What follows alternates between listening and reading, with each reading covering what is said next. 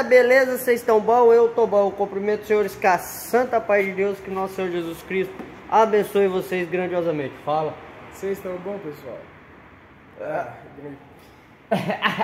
A gripe atrapalha nós. A gripe atrapalha, Gu? Atrapalha.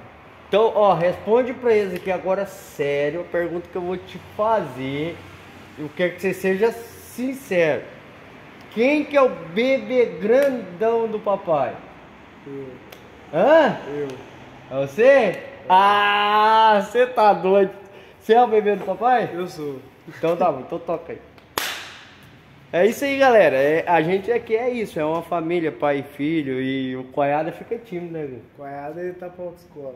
Não, e ele fica tímido, É, né? ele fica com vergonha, coitado. É, ele fica vermelho, o bicho é, é branco fica vermelho. Você tá bom muito hoje, filho? Ah, mais ou menos. Deu, pra, deu pro gasto. Então tá bom.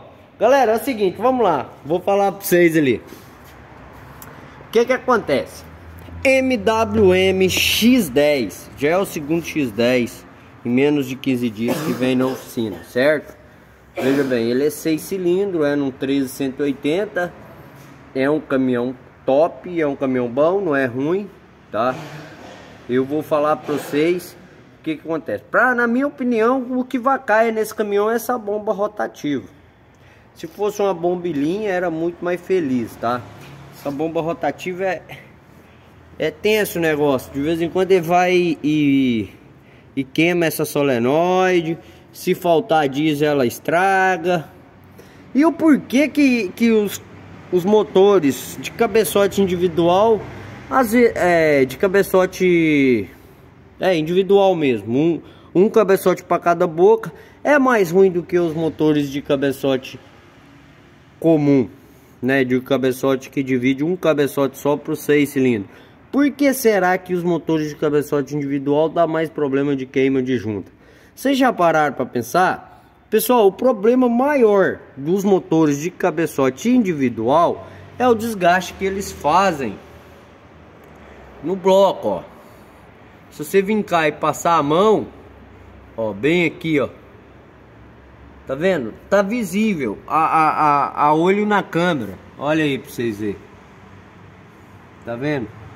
Ó. Então assim, o motor do cliente não tá ruim. O problema é isso aí. Aí fica vazando essa água aí, ó. Vazando tanto do lado de cá, tá vazando. Eu acredito que eu já até pedi o selo, acredito que seja no selo também. Segundo o cliente, ele trocou essa junta já umas três vezes e não resolveu. Então nós vamos fazer o seguinte, o que, que eu vou fazer aqui? Eu vou explicar para vocês. Como o cabeçote é individual, marca muito a, a, face, a face do bloco, né? Às vezes o cara vai torquear, torqueia de uma forma, o outro vai torquear, torqueia também de outra forma, o outro nem usa torquímetro, porque só existe uma forma de torquear. É, se eu não me engano, vamos ver se eu tô bom de cabeça, 6 kg 60 mais 60. Não tem outra. Mas como assim 6 kg 60 mais 60?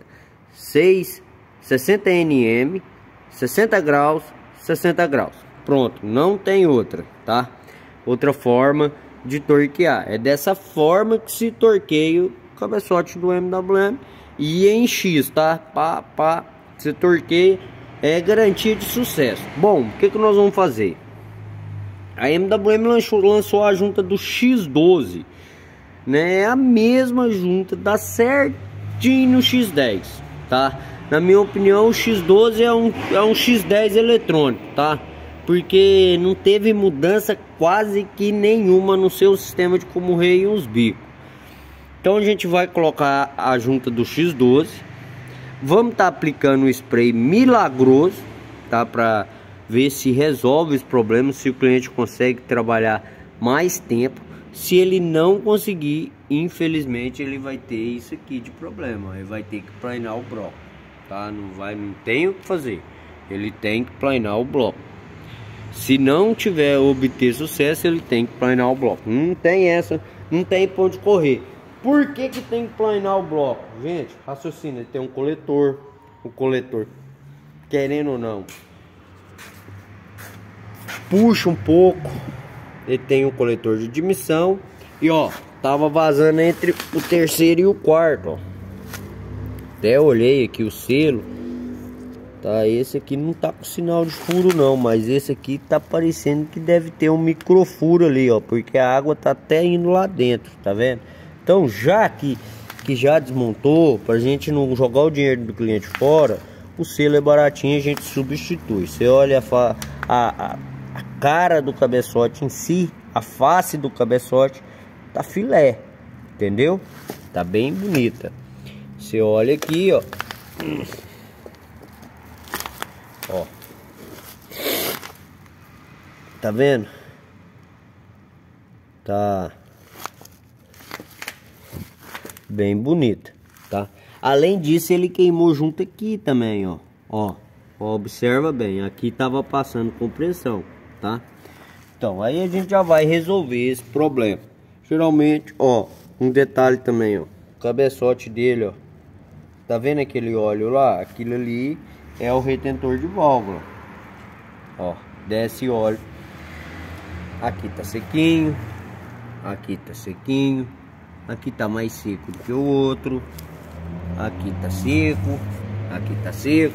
Então, daí você já vê que tem cabeçote com retentor de válvula meio estrunchado, não tá bom. Ó, tá seco. Tá seco, então a gente vai já vai substituir o selo. Já vamos aplicar o spray milagroso, tá?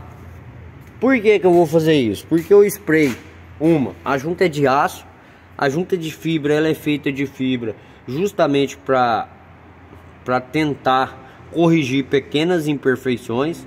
Então a junta é de aço. Aí a gente vai aplicar o spray para que a junta, para aquele spray de cobre, que o cobre é um metal, não passa silicone, tá? O cobre é um metal, assim vai transferir, vai fazer totalmente o serviço que ela tem que fazer. E o cobre vai esmagar. Por que que eu vou aplicar a do X12? Porque é de duas em duas. Aí o que que acontece? Ela é, veda melhor. Não tem para onde correr. O ideal seria se a MWM fizesse o um cabeçote inteiriço. Ela fez, na verdade, né, o NGD, que é a nova geração de porcaria, mas tudo bem. Então vamos lá. Pessoal, falar em, em NGD, tô garrado, garrado, garrado no 370, tô produzindo uns conteúdos bacana para vocês, vou estar tá trazendo. Agora vem a dica importante do vídeo, tá? Quem ficou até aqui, top de linha. Para você que tem F4000, vamos lembrar, F4000, 850 motor MWM X10, motor Cummins bomba rotativa, S10, é, S10 não é D10, todo veículo que tem bomba rotativa, dá para você sair do prego facinho, facinho. Suponhamos que o veículo apagou, deu tipo entrada de ar e você não tem como, né? Você já tentou tirar, abrir os bicos, deu partida, jorra. O que, que você vai fazer? Você vai vir cá, tirar esse fiozinho da bomba da alimentação. Deixa eu ver se é isso da alimentação. É, é esse aqui, ó, de trás, ó. Esse aqui, ó, da alimentação. Você vai tirar ele, tu tirou, encosta ele. Você encostou, você vai escutar essa válvula fazendo um tec. Se ela não fizer um tec, aqui, ó, na sua cara tem um positivo, ó. Isso aqui é positivo, tá? Até porque ele tá isolado aqui, então esse aqui é positivo. Você vai vir cá, passar ele aqui e trazer aqui aqui, porque só vai, mais um detalhe, só vai desligar depois que você cortar a corrente aqui. E se o problema não for alimentação elétrica? Aí você vai pegar uma 27, tirar essa válvula e soltar o êmbolo que tem aqui e pôr a solenoide só para tampar o buraco. Aí, porque essa solenoide emperra fechada. Aí você pode ter certeza que vai funcionar legal. Beleza, galera? É isso aí, um grande abraço para vocês e tudo posto naquilo que me fortalece. Até a próxima. Tchau, obrigado!